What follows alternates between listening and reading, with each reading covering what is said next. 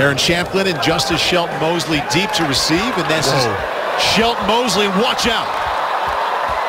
Two punt returns leads. to punt it high if they have to punt at all in this game.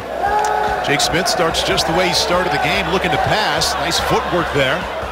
Buys a little extra time. And how's that? Start getting pressure soon. They're going to have to change things up and bring blitzes. Not a team that likes to blitz, but there they go with the pressure from the. Tigers blitz five. Smith going to keep it himself and find a first down. Jake Smith making a play inside of Prince from 28 yards away.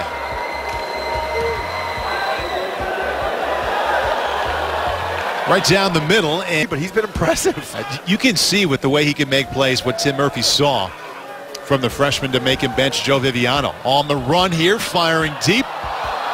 Going to draw a pass interference. Charlie Booker is the tailback. Right up the middle and into the end zone goes Booker. Lead cut to to make that catch, even though there was a Princeton defender right there. Smith did so many positive things. He actually scored a touchdown last night for the Raiders. I guess that one wasn't either. That one is. right.